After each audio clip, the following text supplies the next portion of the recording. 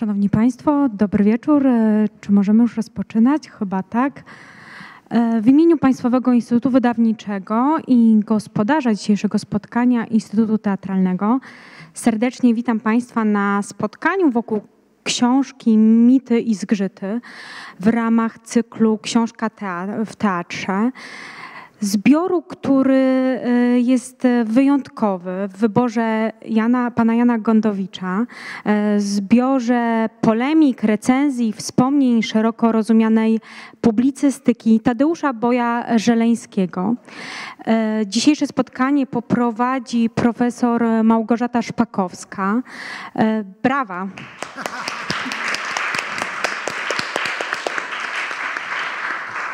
W rozmowie być może debacie, a może sporze. Zobaczymy, jak to się rozwinie. Udział wezmą dwaj znakomici krytycy literacy, znawcy teatru, no i przede wszystkim znawcy boja. Pan Jan Gondowicz, który dokonał wyboru tekstów zawartych w zbiorze, napisał również posłowie i pan Tadeusz Nyczek. Wielkie brawa. Natomiast fragmenty publicystyki przeczyta pan Krzysztof e, Gosztyła. Ja korzystając z okazji w imieniu Piwu, szybciutko chciałabym państwa zaprosić jeszcze na E, spotkania autorskie, które odbędą się w najbliższym czasie, bo już 27 e, września w Muzeum e, Powstania Warszawskiego spotkanie wokół Mirona Białoszewskiego. Serdecznie zapraszam. Tego samego dnia również spotykamy się z Tomaszem Lerskim w warszawskim fotoplastikonie. Będziemy rozmawiać o książce Warszawa Antoniego Słonimskiego. No i 12 października serdecznie zapraszam do Włoskiego Instytutu Kultury na spotkanie spotkanie poświęcone książce Poznawanie cierpienia Emilio Gaddy. Serdecznie Państwa zapraszam. Nie przedłużam, oddaję głos e, pani profesor. No i zapytam, kim u licha był ten boj?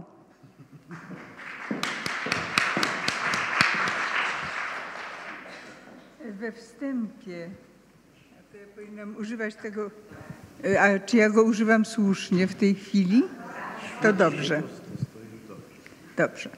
E, na pytanie, kim był Boj, w pewnym sensie odpowiedział wydawca Boja, ponieważ we wstępie umieścił taki bardzo ładny passus, e, z którego wynika, że Boj składał się z samych sprzeczności.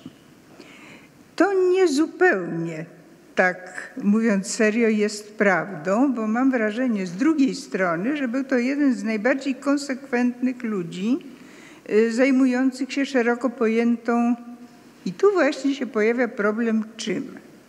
Można właściwie powiedzieć publicystyką, ale w końcu facet, który przetłumaczył ponad 100 tekstów, długich tekstów francuskich, napisał komentarze do, ty, do literatury francuskiej, które się praktycznie składają w podręcznik y, historii literatury francuskiej Człowiek, który napisał, jak wyliczył Henryk Markiewicz, 2000 recenzji teatralnych, no trudno go określać jako publicystę. On sam pół żartem mówił o sobie, że jest mędrcem i nie było to wcale takie głupie. Y, można powiedzieć również, że był on reformatorem obyczajów i nawet do jakiejś takiej ligi reformy obyczajów w pewnym momencie przystał i jej bodajże nawet na gruncie polskim prezesował, ale prędko mu przeszło, bo ciało było dosyć fikcyjne. Y, o boju się mówi różne rzeczy, między innymi taki klasyczny wątek dotyczący boja to to, że był płaski, zdroworozsądkowy, y, że upraszczał, że, że jak pisał Iżykowski, hapyzował wszystko, to znaczy pytał się, ile przyjemności z jakiegoś tekstu można wyciągnąć, na przykład. Yy, ten sposób myślenia o boju może by i przemawiał do mnie, gdyby nie trzy drobiazgi. Pierwszy drobiazg jest taki.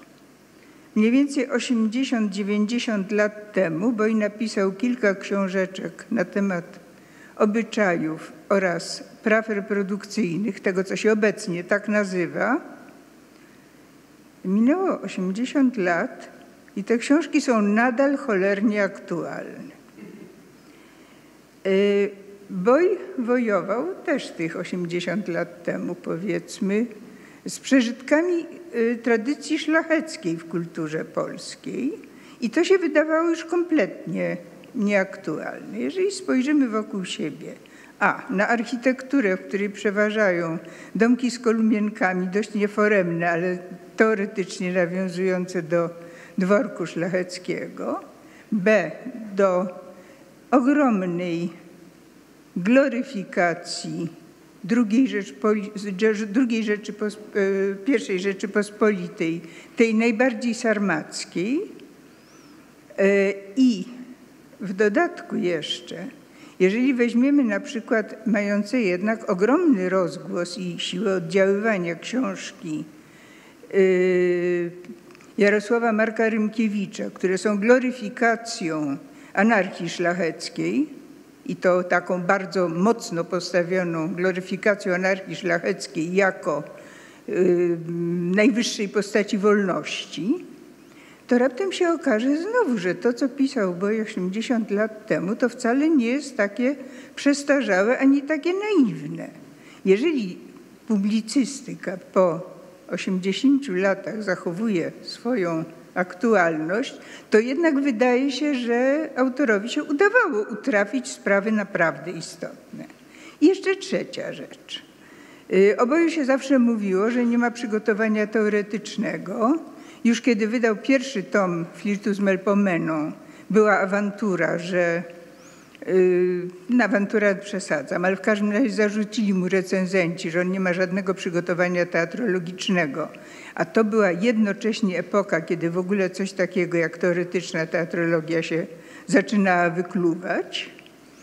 E, jeśli idzie o jego pracę na temat biografistyki, jego uwagi o, o przedstawieniach, o literaturze, e, wszystko to było robione niby z perspektywy amatora. Ale tak jak na to teraz spojrzeć, to Boj był tych 80 lat temu, kiedy tego, to słowo nie istniało, bardzo konsekwentnym dekonstrukcjonistą, ponieważ jego czytanie tekstów poprzek, wynajdywanie takich rzeczy, których nie wiedział ani autor, ani większość czytelników, a co on z lubością wydobywał z tekstów, Y, powiedziałabym, że było bardzo nowoczesne z punktu widzenia metodologicznego. No i tyle ja tytułem wstępu, a do moich towarzyszy chciałabym skierować pytanie, jak w ogóle wygląda ich znajomość z bojem.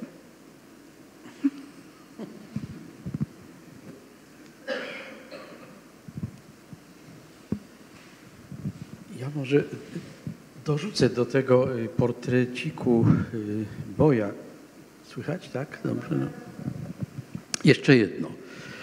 Bo jako amator w badaniu kultury, czy to literatury, czy to teatru, e, okazuje się, że y, posiadał bardzo poważną wiedzę na ten temat, może nie metodologiczną według reguł gry, ale bardzo precyzyjne rozeznanie w czymś takim, co dzisiaj można by nazwać bibliografią.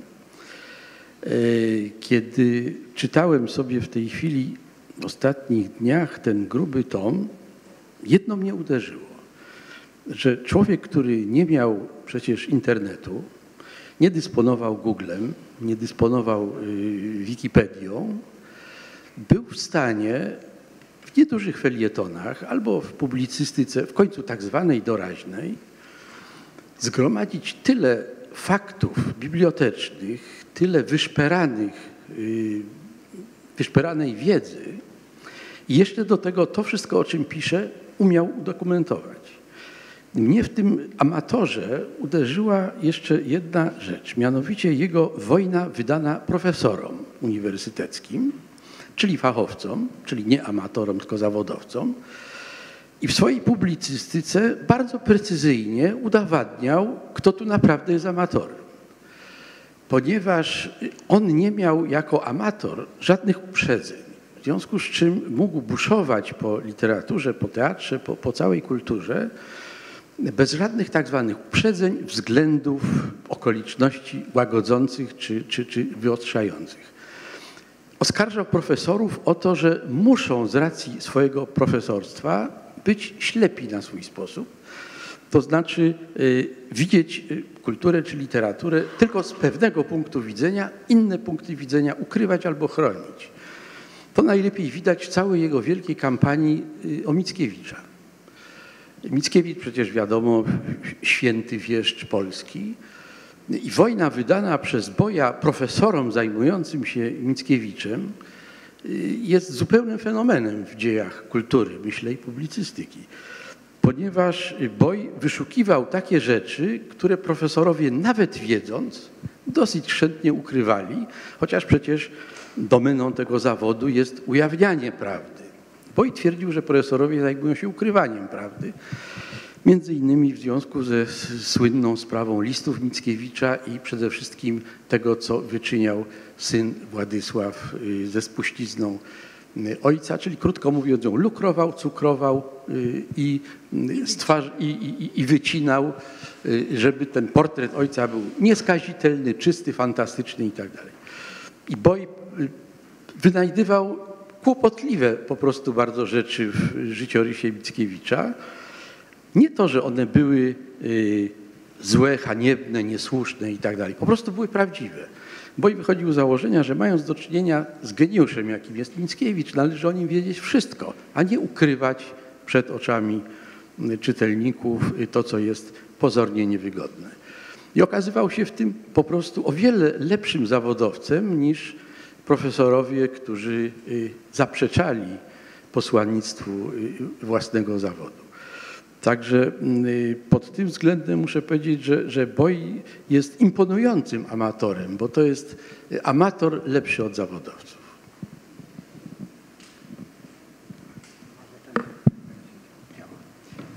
Proszę Państwa, moja znajomość z Bojem zaczęła się jak należy.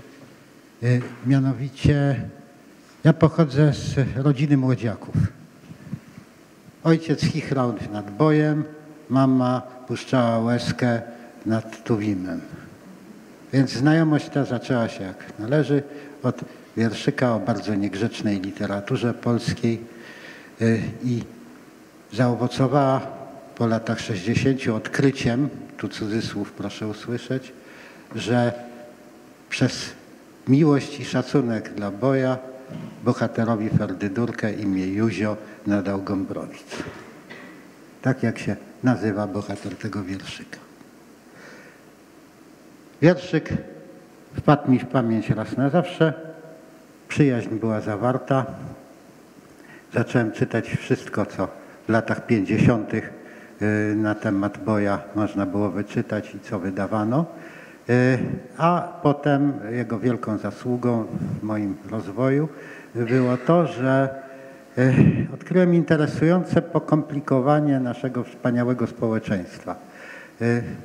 Żeby powiedzieć, jak to wtajemniczenie wyglądało, przyniosłem książkę.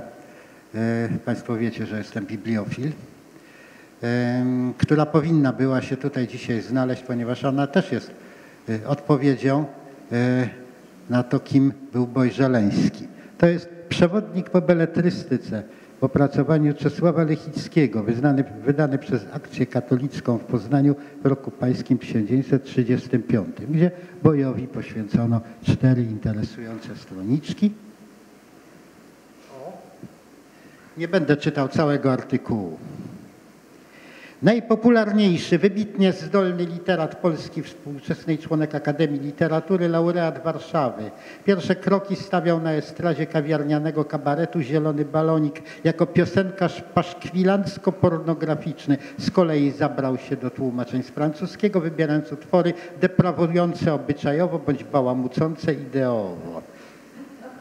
Teraz zorganizował skandaliczną nagonkę na konsystorz warszawski w związku z rzekomymi nadużyciami przy unieważnieniach małżeństw. Odtąd los i kariera Boja były przesądzone. Wszystkie żywioły rozstroju wysunęły go jako taran, rozzuchwalony bezkarnością i dopingowany poklaskiem gawiedzi, a bojaźliwą neutralnością poważnych ludzi pióra, zaczął prowokować coraz cyniczniej, występując przeciw karalności przerywania ciąży i za neomaltuzjanizmem. Wszczął proces o Mickiewicza, kompromitując nie tylko wieszcza, ale i towianizm i oficjalnych uczonych, przezywając ich brązownikami.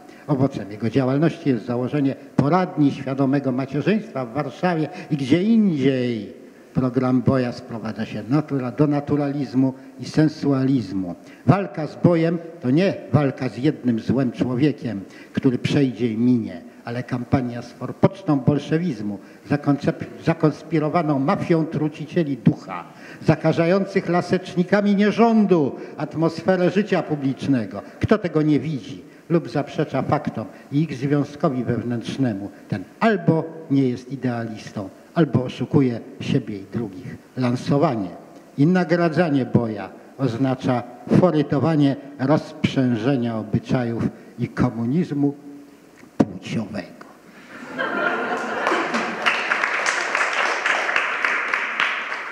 Mam nadzieję, że autora ucieszyły te oklaski w zaświatach, do których niewątpliwie trafił.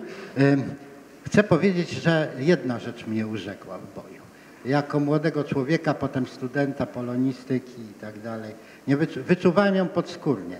Mianowicie y, w tym samym stopniu, w jakim był burzycielem mitów, o, czym mówił Tadeusz, w tym samym stopniu y, był genialnym mitotwórcą.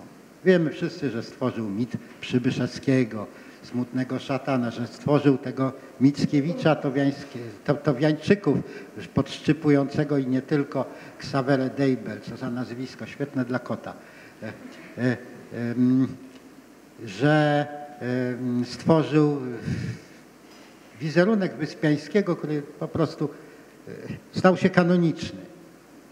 Mam wrażenie, że jedynym tekstem, który dzisiaj jest w lekturach szkolnych, jest plotka o weselu. W związku z czym nasz taki codzienny ogląd Wyspiańskiego zawdzięczamy bojowi. Ale w równie wielkim stopniu stworzył rzecz zupełnie nadzwyczajną. Mianowicie stworzył wrażenie i udowodnił to y, książką Znasz i ten kraj i kilkunastoma y, innymi tekstami, że młoda Polska była naszym złotym wiekiem że wtedy się zaczynamy. Uwierzył w to, jak wiadomo, nawet Miłosz e, w traktacie poetyckim. I tu chcę powiedzieć taką rzecz. Dać Państwu do myślenia i zapytać, poprosić o pomoc. Mianowicie w październiku e, 1894 roku wyszła druga seria poezji e, Kazimierza Przerwy Tetmajera, e, do czego, e, od czego historycy literatury liczą początki Młodej Polski, ale na początku września zaszedł taki fakt, że mianowicie w Zachęcie Krakowskiej pojawili się trzej malarze. Ludwik Stasiak, Włodzimierz Tetmajer, znana nam postać i Damazy Kotowski. Damazy Kotowski, bardzo przyjemny malarz, namalowali razem dla pieniędzy Y, dioramę, to jest taki obraz na przezroczystej tkaninie, który się podświetla z tyłu lampami i wywołuje złudzenie ruchu, pod tytułem Polowanie na niedźwiedzia w Tatrach. I zamierzali zrobić rakietę pieniędzy na tym. Ale przedtem wystawić to w zachęcie, żeby miało placet, że jest prawdziwym dziełem sztuki. I w tym momencie pojawił się dyrektor zachęty, który się nazywał Zygmunt Hrabia Cieszkowski i powiedział, że to trąci impresjonizmem, że to jest malowane byle jak i że on tego nie wystawi. I wtedy malarz Kotowski, o którym już była mowa, rzucił się na pana dyrektora, obalił go na ziem i wymłucił solidnie pięściami, powtarzając przy tym typ się fryzowany. To był początek roku 1894 i pierwszy przejaw modernizmu w sztuce polskiej. Proszę Państwa o odkrycie, znalezienie dla mnie daty dziennej. Ja bym do tego jeszcze e, jedną rzecz dodała, dlatego że jednak niewątpliwie boj do legendy młodej Polski przyczynił się jak mało kto, ale jednocześnie boj miał do tego stosunek bardzo sceptyczny i Plotka o weselu, plotką o weselu, ale dla mnie najlepszym tekstem o Wyspiańskim, jaki kiedykolwiek został napisany, jest tekst o meblach, które Stanisław Wyspiański zaprojektował do salonu y, państwa żeleńskich. Jak wiadomo, Boj ożenił się z Zosią z wesela. No i właśnie otrzymali meble od y, Wyspiańskiego, które to meble odznaczały się tym, że nie można było na nich siedzieć. Poza tym był to, był to komplet jakichś takich olbrzymich krzeseł, y, które się nie dawały przesunąć wszystko, i nie wolno było ich przesuwać. I było to wszystko bardzo piękne jako scenografia, tylko że w ogóle całkowicie do niczego się nie, nie e, nadawało. I jak Boj mówi, z niesłychaną ulgą rozstali się z tymi meblami, kiedy się przenieśli do Warszawy. Otóż ta świadomość, jakby to powiedzieć, no, nieadekwatności sztuki modernistycznej właśnie, nowoczesnej i y, surowej, bo te meble były właśnie bardzo surowe i nawet miały taki prosty rysunek. Y, zerwa, były zerwaniem z mieszczańskim pluszem, etc., etc. Ta świadomość boja, że to jednak jest pewna przesada, to jest bardzo zdrowy element w jego ocenie młodej Polski, w jego ocenie modernizmu. Może teraz posłuchamy pierwszego fragmentu publicystyki Boja, gdyby y, pan Krzysztof zechciał. Żeglarzu. Tak. Szaniawski, żeglarz. Teatr Narodowy, żeglarz, komedia w trzech aktach Jerzego Szaniawskiego, reżyseria Stefana Jaracza, dekoracje Wincentego Drabika. Szósty listopada 1925. Problem prawdy i kłamstwa w życiu. Problem kuzynostwa między kłamstwem a ideałem. Mogłoby się zdawać, że po wrogu ludu, po dzikiej kaczce, bodaj po głupim Jakubie są to zagadnienia cokolwiek zużyte, przebrzmiałe. Otóż nie. Jeżeli gdzie, to nie u nas. Jesteśmy krajem najbardziej zauganym na świecie. Cała nasza przeszłość, cała teraźniejszość, można rzec, cała Polska są po trosze jednym wielkim kapitanem nutem. Roi się u nas od wielkich i małych kapitanów nutów. Termin kapitan nut powinien wejść w nasz słownik, powinien stać się przysłowiem. Swojego czasu prześladowała mnie myśl, aby rozwinąć agitację dla założenia wielkiej ligi odełgania Polski. Ale obejrzałem się nago w lustrze, zmierzyłem wzrokiem moje wątłe ramiona i opuściłem je smutno z westchnieniem. Nie dasz rady. Dlatego i problem kapitana Nuta i jego nieprzedawnioną aktualność rozumiem. Kto jest ów kapitan Nut? Jest to dzielny żeglarz, bohater, zwierciadło cnót rycerskich, który dokonawszy wielu pięknych czynów zginął młodo, wytrwawszy do ostatka na płonącym okręcie. Pięćdziesiąt lat upłynęło, przez ten czas popularność kapitana rosła, nazwisko jego olbrzymiało i właśnie nadeszła chwila uroczystego odsłonięcia jego pomnika. I oto w Wilnie tej dostojnej chwili zjawia się młody zapaleniec, który z zaparciem się własnego życia poszedł szukać prawdy o kapitanie. Wraca z bólem. Znalazł niezbite dowody, że legenda fałszem, bohater lichym człowiekiem, triumfalna śmierć marną ucieczką, bo na dobitkę kapitan Nut nie zginął, żyje gdzieś pod przybranym nazwiskiem. Można sobie wyobrazić wrażenie, jakie sprawiają te wieści. Pomnik przecie gotów, wielkie historyczne dzieło pióra samego rektora wydrukowane, całe miasto gotuje się do uroczystości. Młodzieniec przeżywa ciężką chwilę. Księgarz wtyka mu złoto w rękę w zamian za wydanie tych obrazoburczych rewelacji. Młoda narzeczona, której pilno do szczęścia, nalega, on waha się i w tym ciężkim momencie jego życia zjawia się w jego skromnej izdebce on, kapitan Nut. Tak, tak, on, żywy. Żył pod przybranym nazwiskiem. Wszystko jest prawdą. Nie był bohaterem, był lichym człowiekiem. Ale czy warto to wywlekać? Czy nie lepiej zostawić ludkowi jego złudzenia? Tym bardziej, że jest jeszcze coś. Przypadkowo, to zupełnie przypadkowo nut odkrył po pijanemu jakąś wysepkę. Rząd zagarnął wysepkę jemu w uznaniu tej zasługi, wydzielając kawał ziemi. Na tym kawale ziemi wyrasta miasto. Nut jest bogaty. To jest nie nut, bo nie żyje, ale jego spadkobiercy.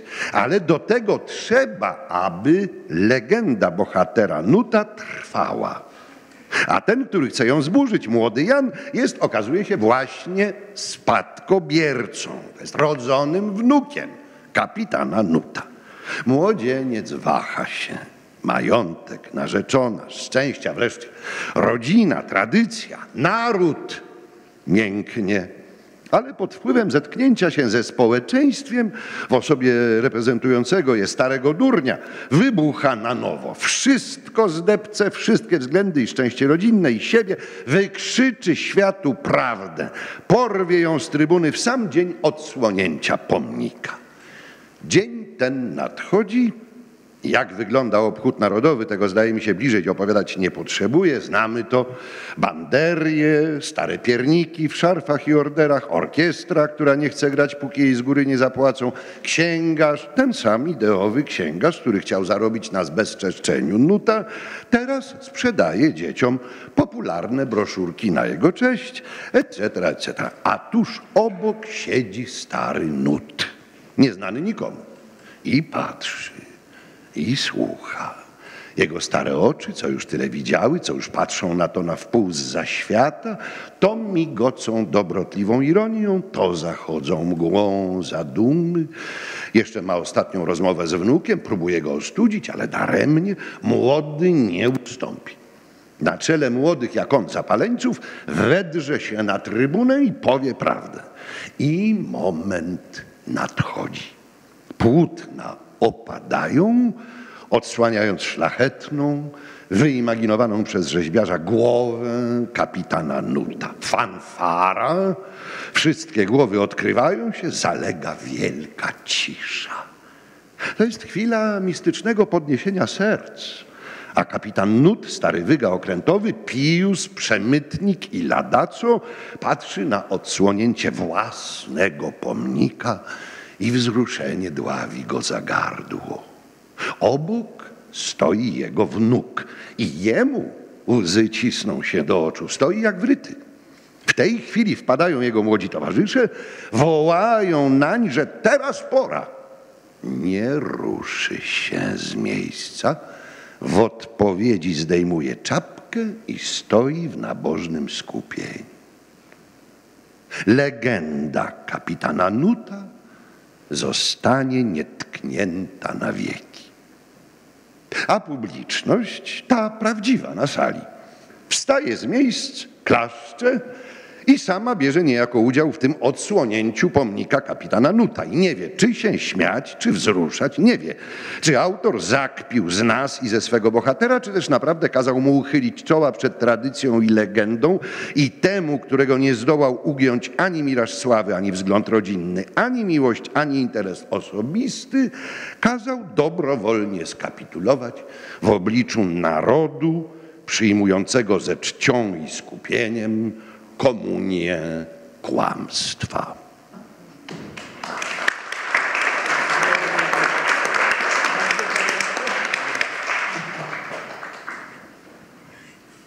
Kawałek rzeczywiście dobrany znakomicie, ale ja chciałam zwrócić uwagę Państwa, y, co przy takiej lekturze tym bardziej się ujawnia, jak znakomicie prostą i krystaliczną prozą mamy do czynienia.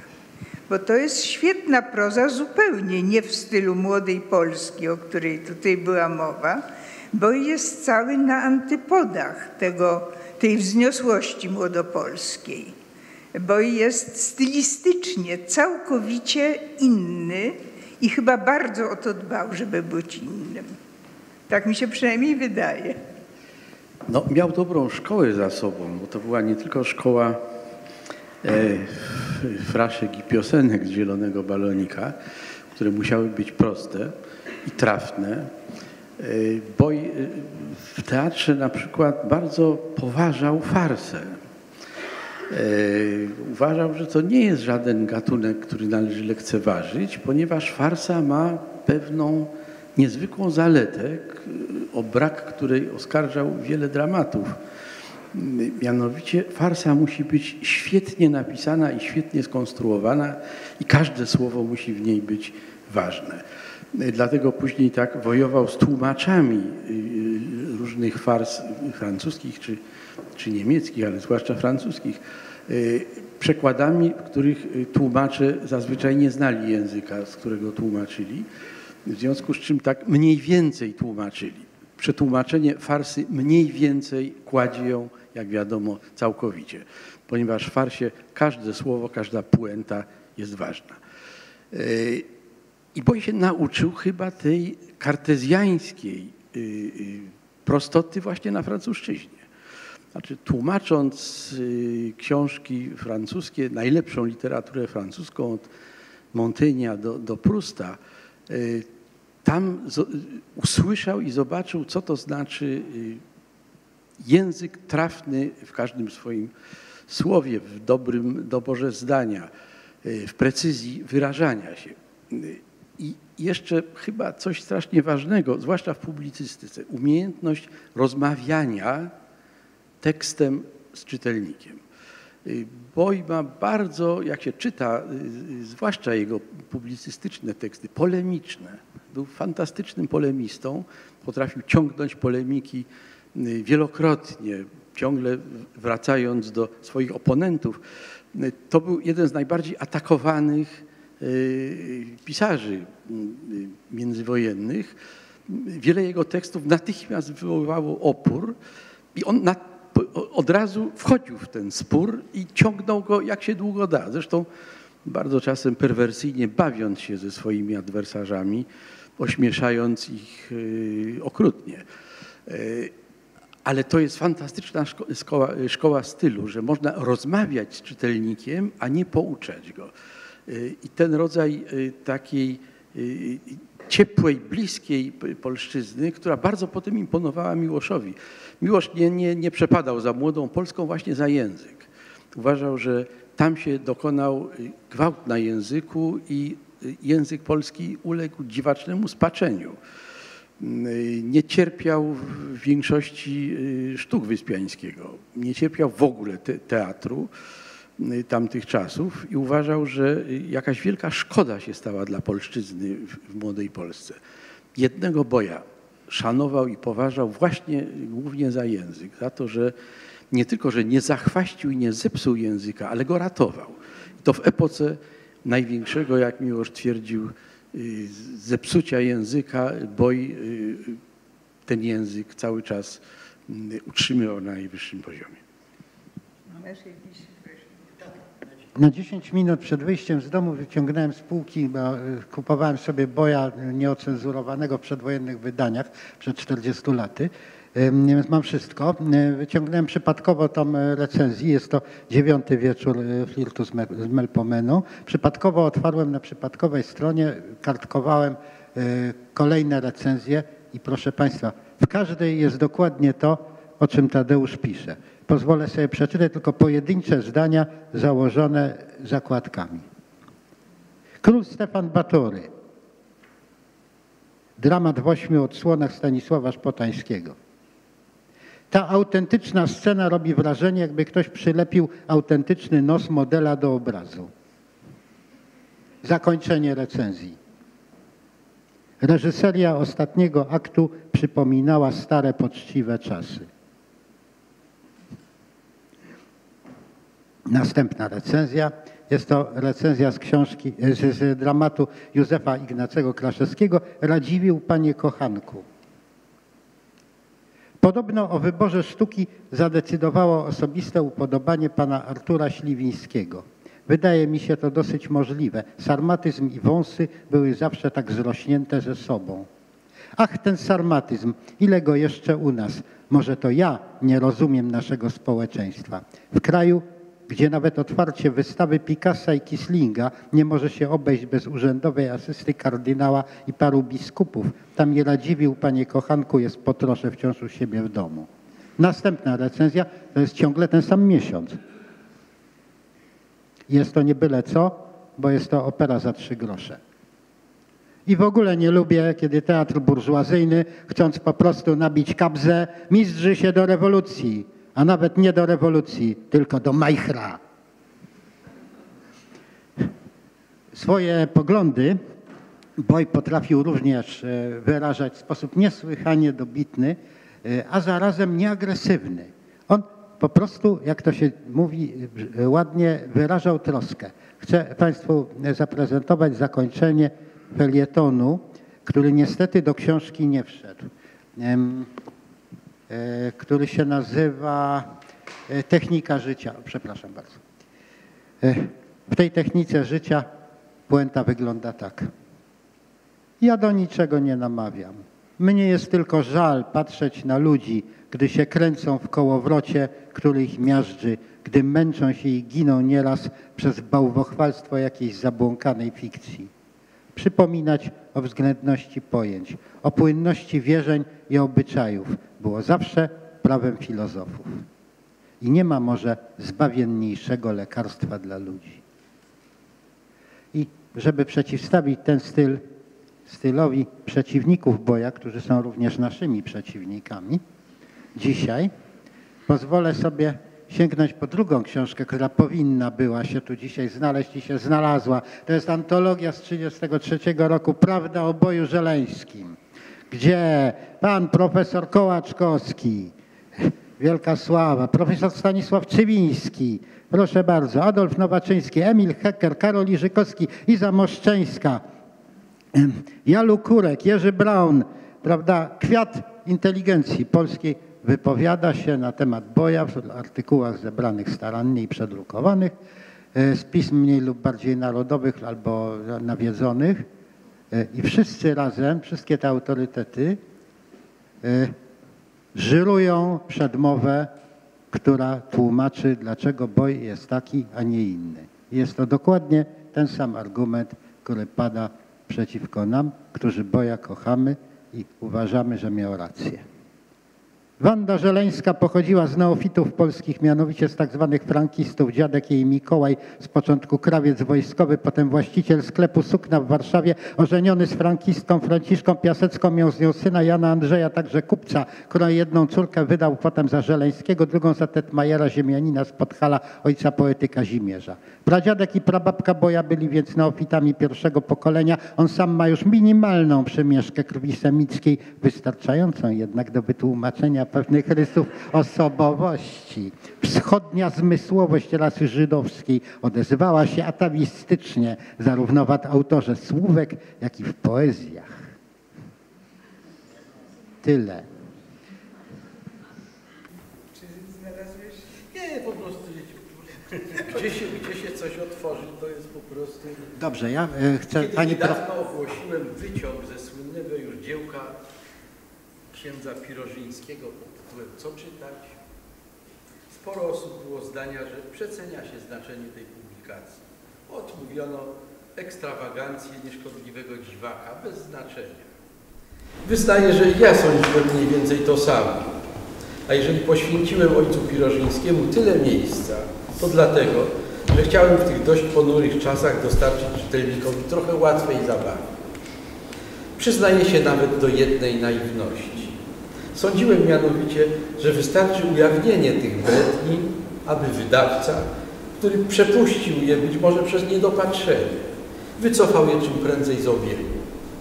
Byłem o tym tak przekonany, że zakupiłem kilka egzemplarzy, żeby je mieć na podarki dla znajomych, gdy staną się bibliograficzną rzadkością. Byłem naiwny, bo oto niebawem w najpoważniejszym naszym czasopiśmie katolickim, Przeglądzie Powszechnym, organie tych samych krakowskich jezuitów, którzy książeczkę Pirożyńskiego wydali, pojawiła się z niej recenzja, solidaryzująca się bez zastrzeżeń zawartością książki. I potem Boj oczywiście przytacza fragmenty z tej słynnej książeczki, która zawierała recenzje z książek, które należy albo czytać, albo nie należy czytać. Doliński. Niezwykły pomysł pana Anapesta, to jest tytuł, polega na tym, że zamierza założyć komitet opiekujący się kandydatami na samobójców. Niezdrowa książka. Emos, duch trwogi. Uczciwa postać, powieść przedstawiająca walkę dwóch szczepów w Kamerunie. Fletcher, autor bardzo przyzwoitych powieści detektywistycznych. Glyn, Eleonora, przygody Eweliny. Smutne przejścia sieroty pod względem moralnym obojętne. Golden Young, gdy zegar wybije 11. Historia detektywistyczna, bez wartości, ale nie szkodliwa. I tak dalej. Więc boi się między innymi pastwił nad takimi dziełami, które wtedy zyskiwały wielkie poparcie kleru krakowskiego i nie tylko. Ja chciałbym y, y, powiedzieć dwie rzeczy, które mi y, się nasunęły, kiedy tutaj była mowa o młodej Polsce. A, znaczy jedna jest o młodej Polsce, a druga jest i genezie nowoczesności, a druga jest o boju jako publicyście z dwudziestolecia. Nagle sobie uświadomiłem taką rzecz, o którą chcę moich czcigodnych rozmówców zapytać. Wpadło mi do głowy, że zresztą o czym wspomniałem oględnie w przedmowie, że właściwie ten stary Władysław Żeleński to był kawał domowego tyrana. Co prawda synów nie bił, ale w domu był taki terror, że jeden, jak wiadomo, zwariował, a drugi popełnił samobójstwo. I tylko środkowy, czyli właśnie Tadeusz, jakoś wyszedł na ludzi dzięki temu, że oddawał się hazardowi, rozpuście, pisaniu sprośnych wierszyków i tym podobnym rzeczom, co go jakoś duchowo e, uratowało. Ale nie on jeden. Zobaczmy sobie. Ojciec Wyspiańskiego, pijak i właściwie kiepski artysta, osoba niezasługująca na zaufanie. Ojciec Iżykowskiego, kompletnie, kompletnie, kompletny bankrut, prze, przehulał trzy majątki, syn prawda, zarabiał lekcjami w Lwowie. Ojciec Brzozowskiego, no to wiadomo, prawda, to Brzozowski nie oszczędził go. Tak, sam go obsmarował bez litości, e, jeszcze na dodatek łzawy oblewał stopy syna łzami, że, że go w taki los wkopał.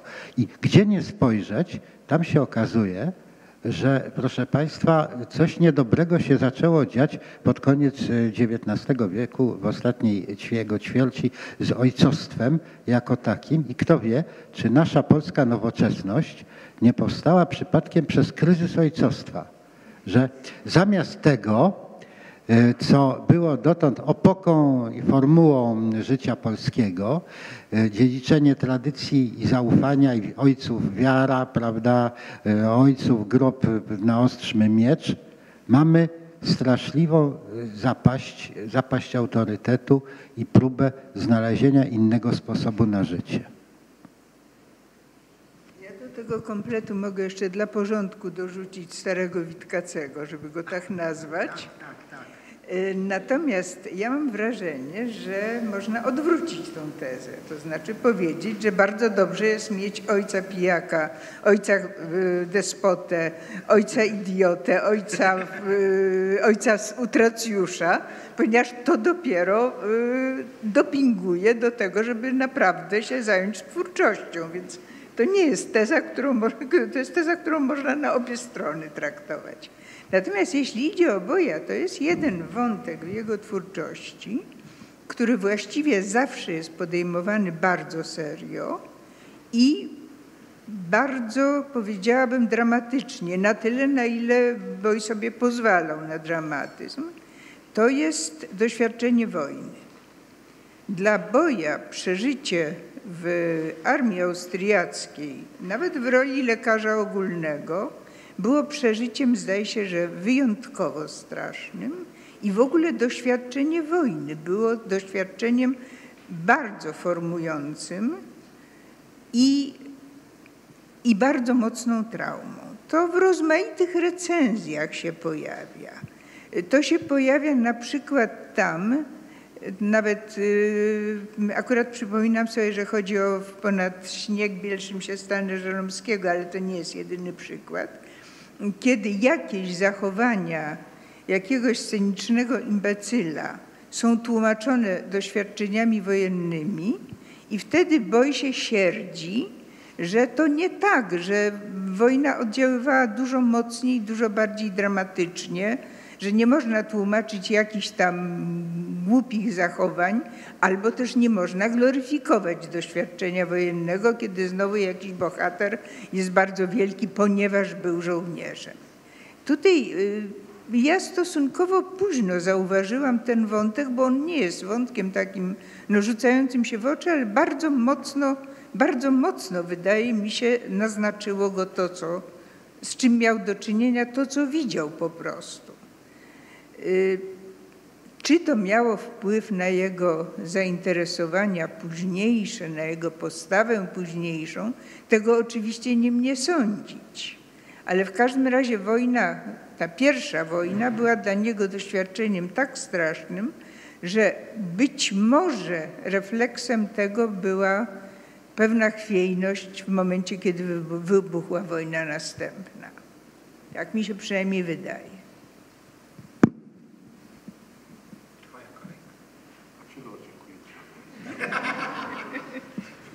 Ja bym chciał być bojem, no ale to, to już niestety się nie uda, już za późno. Jest, jest taki wierszyk Załuckiego. Chciałby człowiek iść w ślady boja, ale nie może, bo ma boja. No więc właśnie.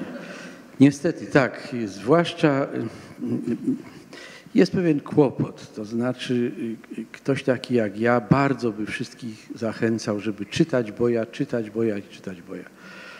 Robiłem to kilkadziesiąt lat, robię to nadal y, i chociaż wydawało mi się, że wszystko już przeczytałem, to kiedy dostałem tę grubą książkę, która jest w końcu tylko wyborem z boja, znowu ją przeczytałem. Ale ku swojej zgubie, bo w gruncie rzeczy przekonałem się, ile by człowiek chciał zrobić w życiu, żeby chociaż być kawałkiem boja. Y, mam wrażenie, że on y, żył za paru, a może za parunastu ludzi. To jest zupełnie niepojęte ile w tej jednej głowie lekarza w końcu z wykształcenia, naprawdę jedynym jego zawodem było, było co to, był od dzieci lekarzem przecież, pediatrą.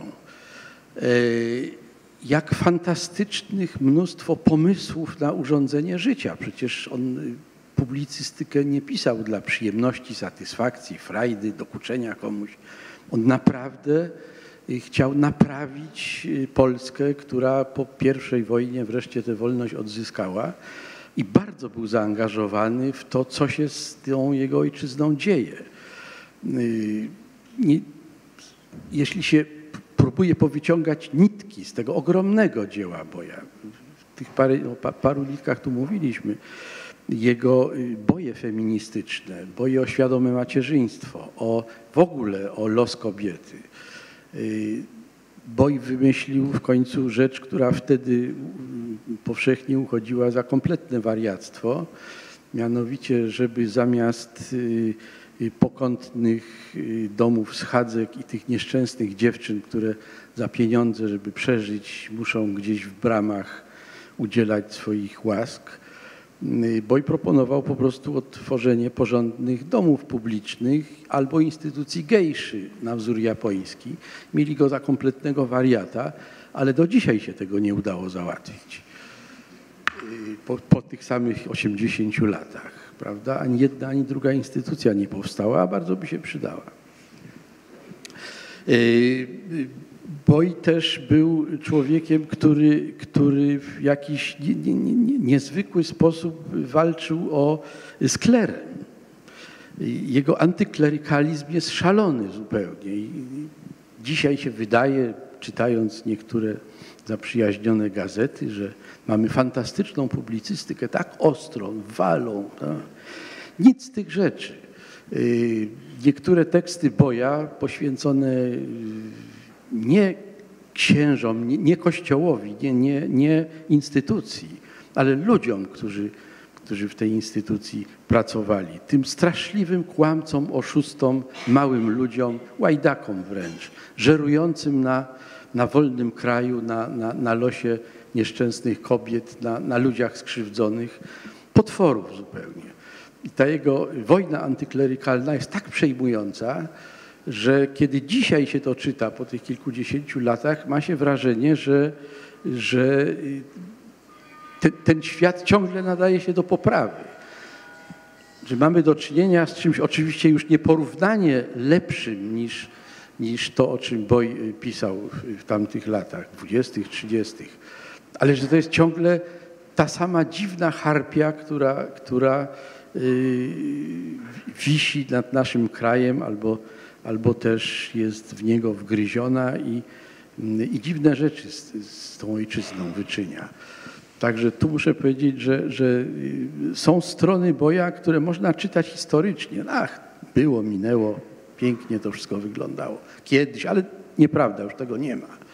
Tak wiele rzeczy nadal jest z tego, y, o czym Boi pisał y, i tak wiele rzeczy jest nadal ważnych i właściwie można byłoby je dzisiaj przedrukowywać i, i myślę, że gdyby ktoś wymyślił pismo samych przedruków, i nie mówię tutaj o słynnej Agorze, taki był kiedyś tygodnik przedruków, to właściwie można by przedrukowywać w kółko wiele tekstów Boja. E, główny problem z Bojem e, e, ja widzę tak. Czy on był do tego stopnia postępowy, że dopiero dziś się spełnia, czy też myśmy się cofnęli o 90 lat? Sami tego nie widząc. Myślę, że nikt lepiej e, nie odpowie niż on sam i że to jest moment, w którym trzeba dopuścić do głosu pana Krzysztofa i kolejny fragment jego publicystyki.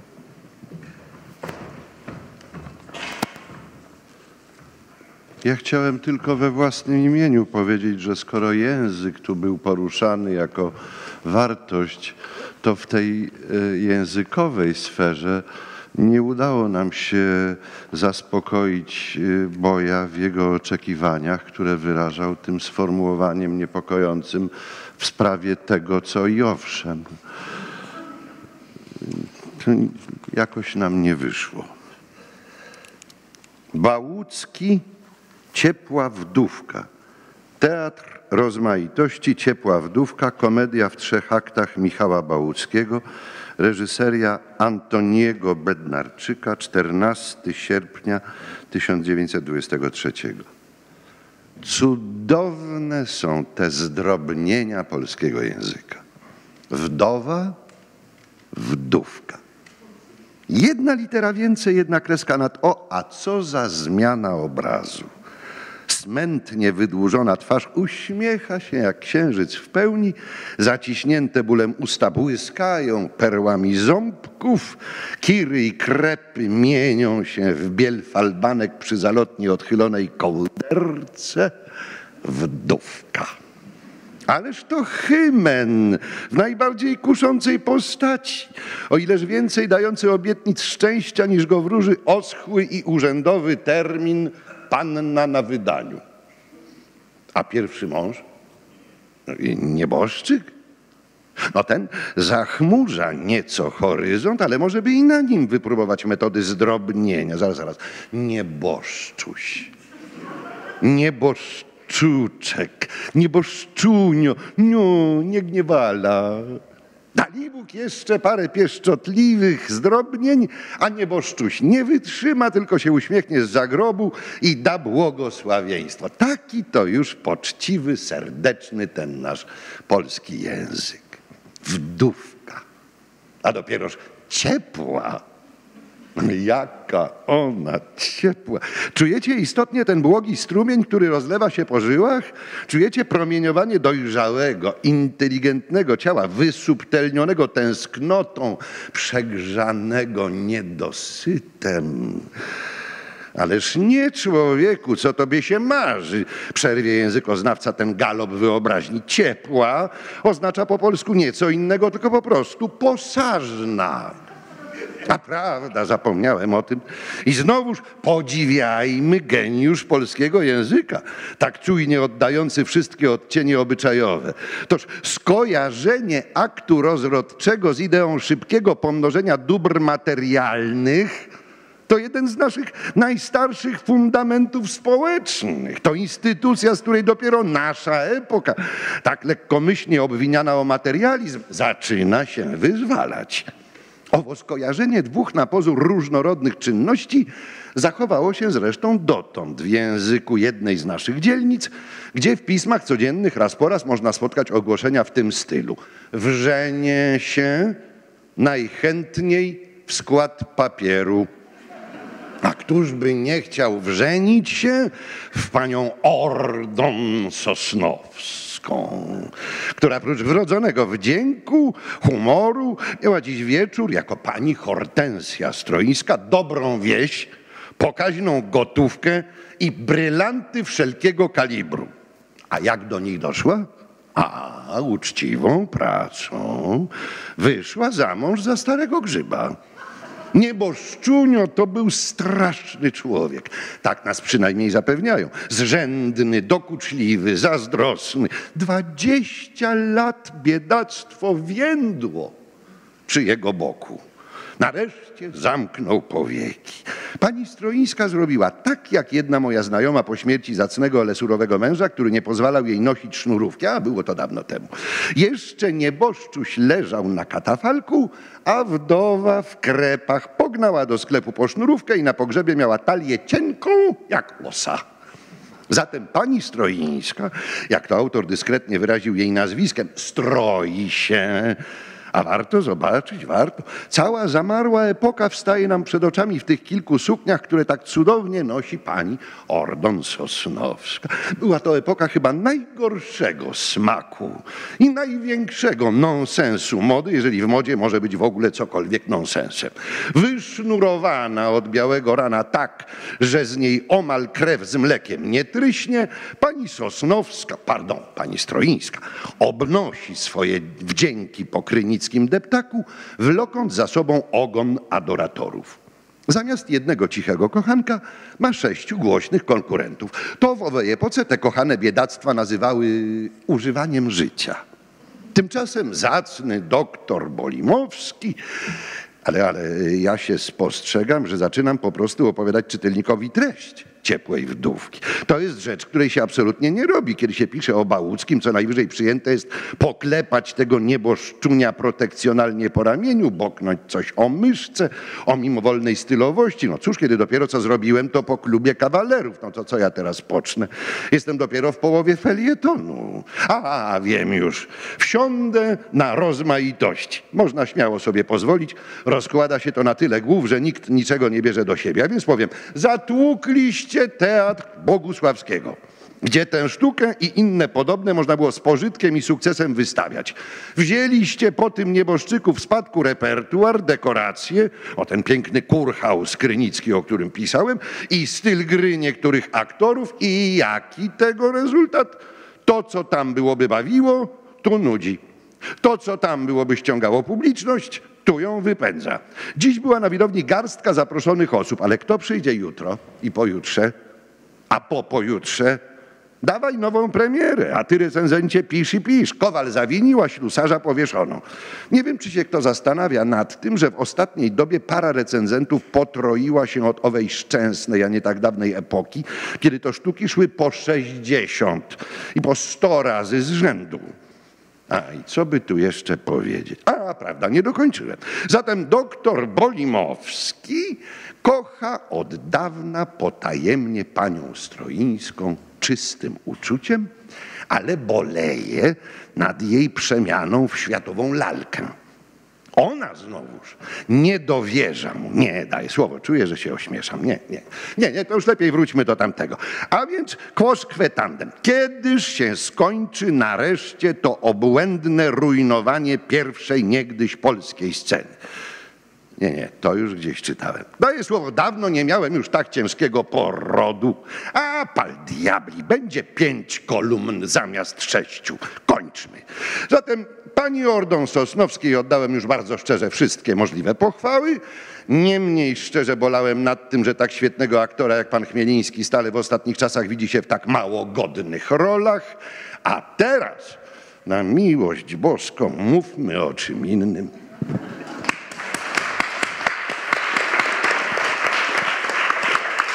Czy to jest właśnie ta dekonstrukcja? Y, To jest dekonstrukcja, ale y, zwracam uwagę jeszcze na jedno. Mianowicie w książce, którą tutaj Janek y, prezentował, w owych polemikach, polemikach powiedzmy z bojem, y, dość często go nazywano marksistą. Otóż niewątpliwie, bolszewikiem też, ale ja, ja, ja tu o marksizmie. Otóż niewątpliwie Boj żadnym marksistą nie był. Natomiast miał on bardzo duże i duże, duże wyczulenie i bardzo zdrowe podejście do materialnej i finansowej infrastruktury rozmaitych wydarzeń, wydawałoby się wzniosłych i całkiem niefinansowych.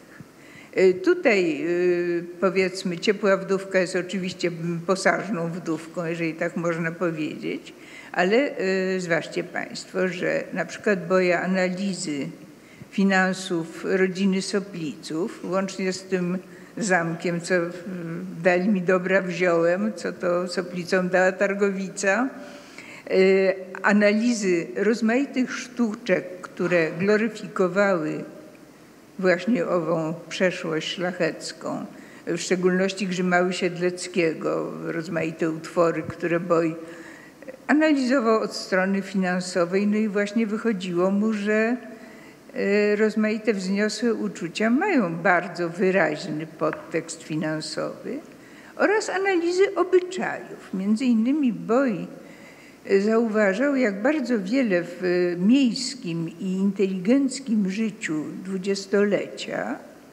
jest pozostałości szlacheckich takich, które są nieuświadamiane. Na przykład jest taki jego tekst o karnawale, że karnawał był bardzo piękny jako impreza ziemiańska, natomiast karnawał, który angażuje ludzi, którzy pracują w określonych godzinach, w- na określonych etatach, jest dla nich koszmarem, dlatego że zmuszeni są tańcować y, nocą, po czym idą do roboty. Mm, Następnie kwestia kosztów, jakie pociąga za sobą flirtowanie obecnie, powiada Boj, bo dawniej flirt z panną odbywał się w ten sposób, że przychodziło się do domu panny, y, no i raczej się zjadało rozmaite kolacje, które potem należało odpracować, czyli ożenić się z panną. Natomiast w obecnych czasach należy pannę zaprosić, a to pociąga za sobą koszta. Należy zaprosić ją do restauracji, do kina, do kawiarni, bardzo kosztowne. A jednocześnie mężczyzna musi za wszystko płacić. I tu jest inny felieton boja o tym, jak y, młody człowiek, który nie ma pieniędzy, musi niesłychanie skądinąd zamożną panienkę odwieźć do domu dorożką. Tylko potem jeździ z tą dorożką po mieście, szukając takiego kolegi, który by mu pożyczył pieniądze, żeby on mógł zapłacić za tą dorożkę. Przy czym jeżdżenie przez całą noc dorożką pociąga za sobą koszta, które znacznie powyższają, przewyższają pierwszą sumę i tak dalej. Otóż to dostrzeganie materialnej tkanki życia oczywiście może się wydawać płaskie, prymitywne, tylko że jak gdyby to ma pewne pokrycie w emocjach rzeczywistych. No, tutaj trzeba koniecznie dodać jedno nazwisko, Aleksander hrabia Fredro. Y, Obrachunki fredrowskie, słynny tom y, publicystyki y, Boja, jest poświęcony analizie utworów Fredry, tych takich pozornie błyskotliwych, wesołych, szlacheckich bajent y, ku pokrzepieniu, ku rozśmieszeniu i tak. I Boj bardzo precyzyjnie pokazuje, że pod spodem, tam gdzie, jest tak zwane, gdzie są tak zwane realia życia, to to życie tych tak zwanych beztroskich, radosnych y, bohaterów Fredry, to jest życie łobuzów, łajdaków, zdrajców, y, oszustów, ludzi, którzy albo nie cenią drugich, albo cenią tylko pieniądze, albo cenią układy itd. Tak jego, jego analizy różnych wesołych komedyjek, które uchodziły za tak zwane, e, były wspomnieniami złotych, dobrych, pięknych e, i miłych e, dawnych czasów. On twierdzi, że ani nie były piękne, ani nie były miłe, tylko pod spodem tego wszystkiego po prostu tkwiło zwykłe ludzkie łajdactwo.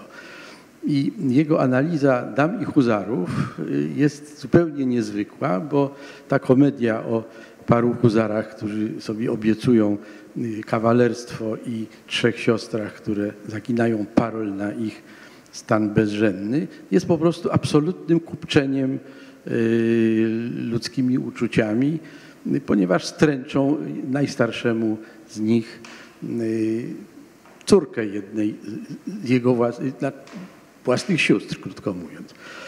Więc całe to draństwo, które się odbywa w tle komedii Fredry Boy z niesłychaną precyzją e, opisuje i e, nie dziwię się trochę, że wszyscy ci wyznawcy dawnej, wspaniałej, pięknej Polski XVII, XVI i XVIII wiecznej byli na Boja straszliwie wściekli, bo on po prostu demaskował to, co było ukryte pod pięknym wierszem, pod wspaniałymi konstrukcjami literackimi, bo i to bardzo złośliwie wyciągał na wierzch i bezlitośnie obnażał.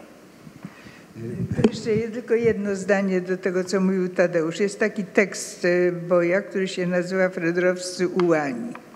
E, tam między innymi są owi e, huzarzy z nami huzarów i jeszcze paru innych ułanów, którzy byli na ogół albo wydrwi groszami, albo bankrutami, albo pijakami, albo bigamistami zdaje się nie byli, ale mo mogliby być.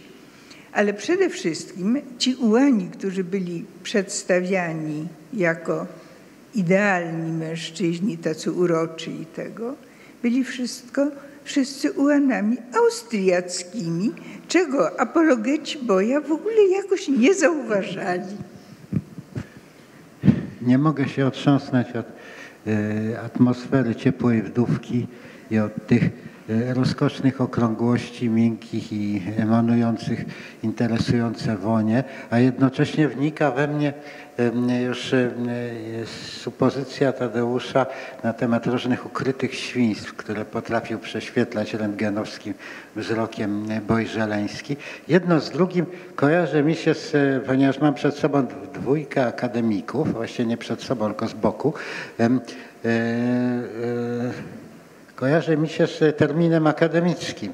Mianowicie, ponieważ zastanawiamy się tutaj, kim Boj był, a może po prostu najlepiej byłoby powiedzieć, że był antropologiem kultury, że był antropologiem ciała. Zdaje się, że pani profesor Szpakowska zajmowała się kiedyś antropologią ciała i ciała, czego jak czego, ale ciała to uboja nie braknie.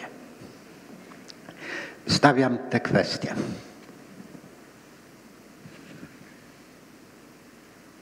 Tak, tylko, tak, tylko że boj, chciałam zauważyć, że nie był antropologiem ciała, tylko po prostu lekarzem. I jako lekarz miał podejście do ciała jednak bardziej medyczne niż antropologiczne. Natomiast antropologiem kultury był rzeczywiście. Znowu y, avant la lettre, znowu niemetodycznie, ale miał to spojrzenie na kulturę jako na kulturę ludzi, jako kulturę, która zawsze jest przez kogoś, dla kogoś i jakoś tam w ten sposób postrzegana. To czasem dawało rezultaty bardzo dobre, a czasem rezultaty trochę gorsze. Ja na przykład bardzo nie lubię, bardzo nie lubię, to jest źle powiedziane, w każdym razie z tekstów Boja, może najmniej dla mnie przekonujące są teksty, kiedy on się wypindrza na teorię biografistyki. I kiedy zaczyna pisać, że właściwie to należy się zajmować i życiem, i, i, i, i dziełem, I powiedziałabym, że tam jest akurat może najmniej odkrywczy, Natomiast w momencie, kiedy pisze rozmaite biografie rozmaitych y, pisarzy, jest znakomity. On jest znakomity, aczkolwiek znowu tutaj warto pamiętać, że na przykład przy niektórych analizach literatury francuskiej on troszkę uprawia plotkę o weselu. Na przykład niedokończona jego książka o Pruście, no to jest po prostu plotka o Pruście, nic innego, plotka o y, poszukiwaniu straconego czasu. Nic właściwie innego już tam, inna rzecz, książki nie skończył, ale właściwie trudno się dopatrzyć czegoś innego. Więc to różnie było z tą antropologią kultury i z tym antropologicznym spojrzeniem. Tam jest coś jeszcze w boju, y, w tej antropologii kultury, ale coś, czego nie bardzo rozumiem, ale może, może też jest to kwestia odległości czasu. Mianowicie boj w swoich różnych bojach, bo właściwie całe życie przewojował y, o różne sprawy, pewnym momencie podjął dosyć dziwną wojnę, mianowicie ze zniemczeniem czy z niemieckością kultury polskiej. Y, uznał, że y, coś się złego stało, że w pewnym momencie, były to lata 30., Polska zatraciła w sobie, skupiła, porzuciła niesłusznie źródła francuskiej kultury, że właściwie cały czas od XVI wieku bazowaliśmy na kulturze francuskiej jako czymś, co konstytuowało naszą kulturę uboższą, biedniejszą, że tam znajdowaliśmy właściwe wsparcie, właściwe teorie, jak, jak żyć, jak pisać, jak się zachowywać, kultura obyczaju i tak dalej, całą filozofię. I nagle coś się takiego stało, że wpadliśmy w, niem, w niemieckość. I Boj strasznie nad tym ubolewa, że niemiecka kultura jest czymś tak obcym polskiej kulturze, że właściwie nie nadaje się do przeszczepiania. I bardzo aktywnie wojował z tymi tendencjami niemieckimi. Niestety chyba przegrał. To była jedna z jego nielicznych, kompletnie przegranych wojen, bo jeżeli coś naprawdę z tradycji europejskiej w polskiej kulturze wygrało drugiej połowie XX wieku, to niewątpliwie kultura niemiecka z francuską. I to, że dzisiaj teatr choćby polski jest od bardzo wielu lat pod zdecydowanym wpływem niemieckim, natomiast zero wpływu kultury francuskiej. Może i też dlatego, że ostatnie półwiecze europejskie to jest zdecydowana dominacja kultury niemieckiej nad francuską. I tu nie ma na to rady, to znaczy tak jest. Ale, y, ale to jest, Boj pewnie nie byłby w stanie tego przewidzieć, co się stanie, ale to jest jedna z jego, z jego batalii, y, które dzisiaj chyba są nietrafione. Myślę, że e, jedna z najmądrzejszych e, myśli, które nawiedziły Boja i które stworzyły go po prostu jako publicystę, jako mędrca w tym znaczeniu, jakim temu słowu nadawał, e, było myślą do głębi francuską i kto wie, czy właśnie w jej imię nie bojował z myślą niemiecką. E, chodzi mi znowu o lata wojny, e, najbardziej ponury e, okres, kiedy no, Boj jest lekarzem na dworcu, w takim punkcie szpitalnym na dworcu głównym w Krakowie. Co parę godzin przychodzi eszelon pełen ludzi z pourywanymi rękami, nogami, głowami, prawda, zatrutych gazem. E, trzeba sortować tych, których jeszcze można pomóc, od tych, którym nie można pomóc. I w momencie, kiedy jest przerwa między jedną dostawą półtrupów a drugą, Boj otwiera szufladę, rozgląda się, czy jakiś jego zwierzchnik nie zagląda mu przez ramię i tłumaczy Pascala. I u Pascala jest taka myśl, że co jest po jednej stronie Pirenejów prawem, po drugiej, czyli w Hiszpanii, jest przestępstwem. I co jest obyczajem e, po jednej stronie Pirenejów, po drugiej stronie jest herezją. Jeżeli zamienimy e, tę różnicę zauważoną w połowie XVII wieku między dwoma krajami sąsiednimi z przestrzeni na czas, to złapiemy całą bojowską wrażliwość na przemiany w czasie. Zobaczmy, jak szalenie zmienił się wygląd ulicy Polskiej po tych 80 latach. Mało tego, on się zmienił po 30 latach. Siedząca koło mnie pani profesor Szpakowska oglądała parę lat temu zdjęcia ubeckie z y, wydarzeń w 68 roku i mówi, ulica wyglądała całkiem inaczej. W ogóle jeden samochód na dwie minuty przejeżdżał. A jak ludzie chodzą, jak się czają, jak, jak szczury smyrgają, wszyscy szarzy pod, uli, pod murami, rozglądając się wokół siebie. Y, otóż przed wojną, proszę zauważyć, mężczyzna nie mógł wyjść na ulicę bez nakrycia głowy. Jeżeli to był proletariusz, to nosił jakiś kaszkiet, jeżeli inteligent czy, czy lepsza sfera, to kapelusz. Laseczka w dłoni, po, po laseczce się rozpoznawało, że ktoś jest po maturze i posiada takową, tak jest. E, oczywiście buty zawsze wypastowane, a teraz te brzuchy na wierzchu, prawda, dekolty po sam pas, no e, i w ogóle pełna rozpusta. E, w naj, najśmielszych swoich snach o rozprzężeniu obyczajów, co już tutaj cytowałem, bo i nie mógłby przewidzieć, że tak będzie wyglądała ludność wielkomiejska przyszłości. A w głowach to samo, co 90 lat temu.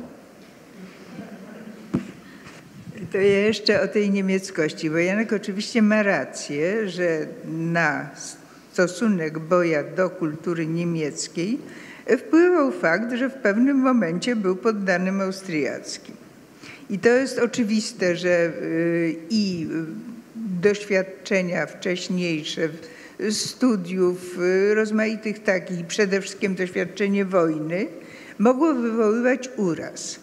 Ale ja mam wrażenie, że również y, tutaj pewne znaczenie miało to, że jakby to powiedzieć, że wbrew, wbrew jego, jego wojnie o kulturę francuską, kultura francuska też w pewnym momencie przestała być taka szalenie znowu atrakcyjna. Jeszcze, jeszcze w okresie międzywojennym to było bardzo, no, bardzo ważne miejsce dla kultury polskiej, ale po wojnie, po wojnie Tadeusz mówi, tak, ale i tak, i szukaj, szukajcie kawiarni, w której nie było Hemingwaya.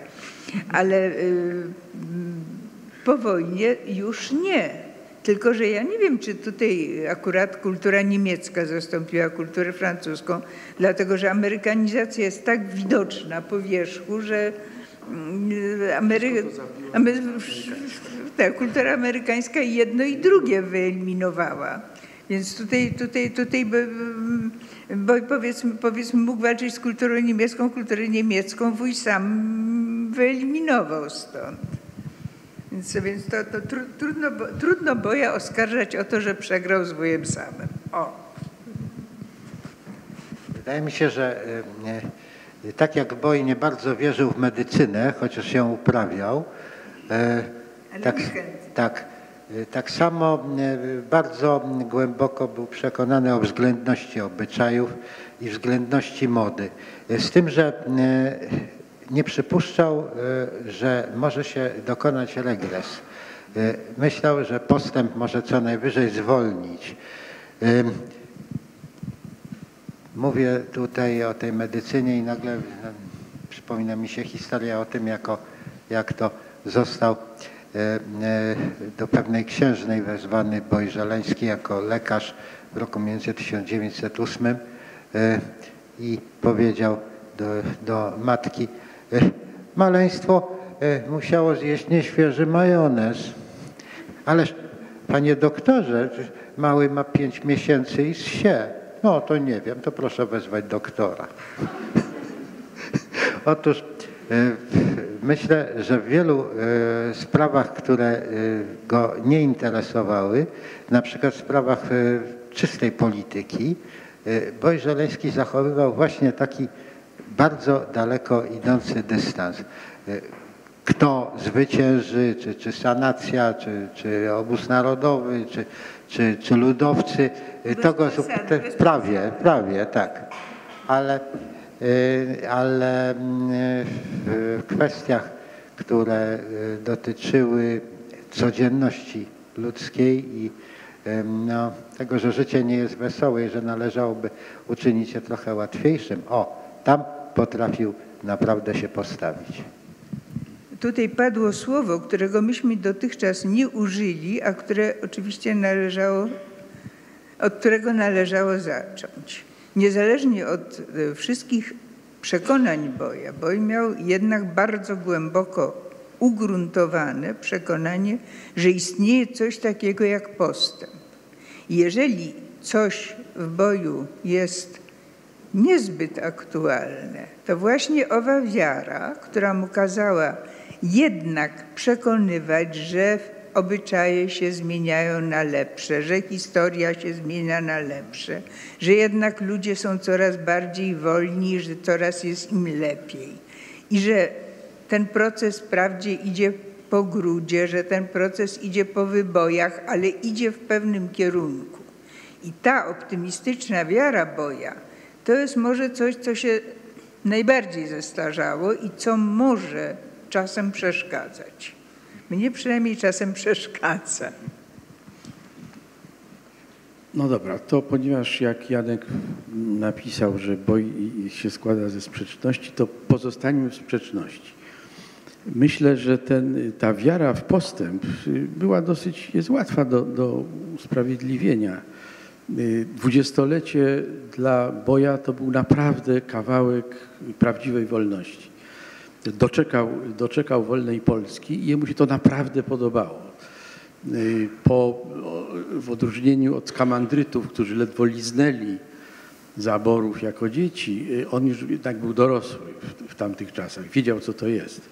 Dla niego 18 rok był naprawdę czymś bardzo wielkim i zwłaszcza po traumie pierwszej wojny, o której była mowa. I ta nowa Polska go naprawdę zachwycała. I on wszystkie siły rzucił na front ratowania tego, co jest dobre i wypleniania tego, co jest złe. Wierzył w, te, w tę nową Polskę bardzo. I to był jego optymizm. Znaczy stąd być może ta, ta wiara w postęp, że coś się jednak na lepsze zmieniło, nie da się ukryć. Że ludzie się lepiej zachowywali, że kobiety miały większą wolność, że już te nieszczęsne praczki z dramatów zapolskiej, czy jakieś biedne, biedne aktorki, które musiały się sprzedać bogatym wujom, żeby móc w ogóle wyjść na scenę, kupić sobie pończochy, że tego już nie ma. To, to, to, to jednak jest lepiej. Jednak ten kraj zaczyna wyglądać. Tu się Gdynia buduje. Prawda? Taki, taki rodzaj optymizmu cywilizacyjnego zupełnie. I myślę, że, że no, nie da się te, tego bojowi odebrać. Zresztą nie wiadomo po co. My akurat żyjemy w takich czasach, w których postęp, optymizm, rodzaj wiary w cokolwiek wydaje się naiwne, śmieszne i idiotyczne. Zresztą to najlepiej widać w sztuce, w kulturze. Jak bardzo w naszych czasach zwyciężyło coś, co się nazywa utożsamieniem prawdy z brudem, ciemnością, piekłem, nieszczęściem. Natomiast broń Boże, z jakąkolwiek jasnością, optymizmem, wiarą w cokolwiek, bo to się od razu kojarzy z kiczem, telenowelą albo przynajmniej jakimś innym kretyństwem, z programami amerykańskimi o tym, jak być bogatym, młodym i szczęśliwym, niezależnie od tego, że się jest starym, głupim i bezsensownym. E, proszę Państwa, jak mówiłem, ja jestem z, z młodziaków i dlatego szkoda mi postępu. Odbywałem kiedyś rozmowę, notabene dla Playboya, z innym z bohaterów e, pani e, profesor Szpakowskiej, mianowicie ze Stanisławem Lemem. I pytam Lema, co, co będzie, jak nie ma postępu? A on na to mówi, no cóż, ludzie jeszcze gwałtowniej niż dotąd zaczną się mieszaniem kopulacji szaleńczej z obłędnym zarabianiem pieniędzy y, aż do momentu, kiedy złapią raka. Szczerze mówiąc, to ja wolę wizję boja, nawet jeżeli jest fałszywa. Y, I muszę rzec taką rzecz. Nie wiem, czy bez postępu można być tym, co się nazywa pięknym umysłem. Czy nie jest to pojęcie, które organizuje te różne pozytywne cechy człowieczeństwa w sposób sensowny wokół siebie? E, Boj był pięknym umysłem. Przyjemnie się z nim obcuje. Był dobrym człowiekiem. e, Lubił ludzi. E, I wiecie Państwo, jak to jest w drugim akcie wesela? Jeszcze dużo jest takich Polaków, co są piękni, mówi poeta.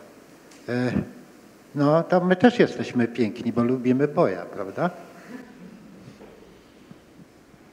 Wydaje się, że powinniesz teraz może Państwo coś powiedzieć.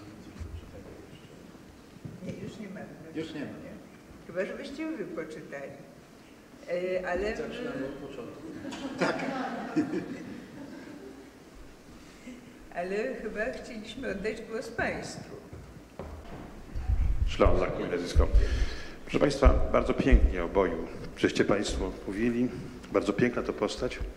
A tak się akurat składa, że tu niedaleko jest taka ulica w Warszawie, z Placu Unii, tam w stronę e, pól mokotowskich, Boja Żeleńskiego. Ja na tej ulicy mieszkam. I kiedy w tych moich blokach projektowanych przez pana, pana Pniewskiego mieszkali jeszcze ludzie, teraz też mieszkają ludzie, ale mieszkali jeszcze ludzie, którzy coś wiedzieli, to, to wtedy była Polna. Potem ta Polna zmieniła się na Boja, adres się zmienił, no i jest Boja. I mnie kiedyś coś podkusiło, żeby wyjść na tego swojego Boja, bo to tam się wychodzi, tak super tam był, i już go nie ma oczywiście, i zapytać przechodniów, kto to ten Boj Żeleński.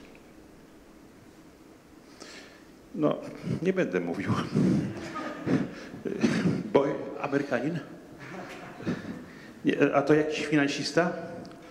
Potem podkusiło mnie, żeby zapytać sąsiadów, bo już starsi ode mnie to poumierali, posprzedawali ich dzieci, mieszkania są nowi, dużo mieszkań się wynajmuje, bo to takie miejsce centralne Warszawy. Y, Zacząłem pytać sąsiadów, którzy z twarzy wyglądali mi na takich bardziej, y, może nie tyle oczytanych, co jakby świadomych. Nie wiedzieli. Co zrobić w takim razie, żeby ten boj, żeby boj żeleński powrócił do normalnej, cywilizacyjnej, jak gdyby świadomości. A ten fragment, który Pan przytoczył na początku, ten komunizm, ten marksizm, bolszewizm, to ja mam obawy, że może ktoś wpadnie na pomysł, żeby go również zdekomunizować, bo taka moda w tej chwili. Chociaż, chociaż, z drugiej strony, chociaż z drugiej strony obawiam się, że może go nie zdekomunizują, bo nie wiedzą, kto to. Proszę pana, to ja panu opowiem anegdotę autentyczną sprzed paru lat, o może ośmiu, kiedy pewien znany mi prowincjonalny, ale bardzo porządny szpital y, noszący imię Tadeusza Boja Żeleńskiego, który w końcu był lekarzem, więc nie dziwne, że szpital był jego imienia. E, I ktoś wpadł na pomysł, że Boj jest niesłuszny, ponieważ walczył z Kościołem, walczył, w gruncie rzeczy szybko porzucił medycynę, nawet jej nie lubił. Żadnych tutaj na tym polu osiągnięć wielkich nie miał, a potem pisał same świństwa, krótko mówiąc. E, I że to jest bardzo podejrzany patron, dobrze byłoby go zmienić. W związku z czym y, urządzono konkurs na nową nazwę tego szpitala i w finale znalazły się dwie nowe nazwy zamiast Boja Żeleńskiego. Jedna nazwa to było Szpital imienia Ojca Rydzyka, a drugi Matki Boskiej. Y, Oba te pomysły nie spotkały się ze specjalnym entuzjazmem, zwłaszcza pracowników szpitala, którzy zorganizowali własną y, akcję i tajne wybory, y, która z tych trzech nazw, dwie nowe i ta stara, powinna wygrać. Y, 90% opowiedziało się za bojem żeleńskim, wygrała jedna z tych nowych. E, Jeszcze, jeszcze dodam, że e, sąsiadem pana na ulicy Boja Żeleńskiego była świętej pamięci pani profesor Barbara Stanosz, wybitny logik, redaktor naczelny pisma bez dogmatu. Ta na pewno wiedziała, kto to był Boj Żeleński. A, jeszcze jedno. Nie, nie wiem, czy Państwo pamiętacie, nie tak dawno temu w ramach y, problemów z uchodźcami syryjskimi któryś z dziennikarzy wyszedł na miasto i zaczął pytać ludzi, czy byliby za tym, żeby wprowadzić cyfry arabskie do niego. Okazało się, że większość była absolutnie przeciw.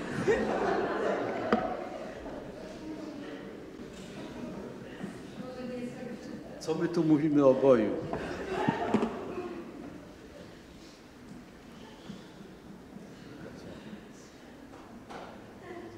Może ktoś się jeszcze zdecyduje. Czytajcie boja dzieci, czytajcie do jasnej cholery.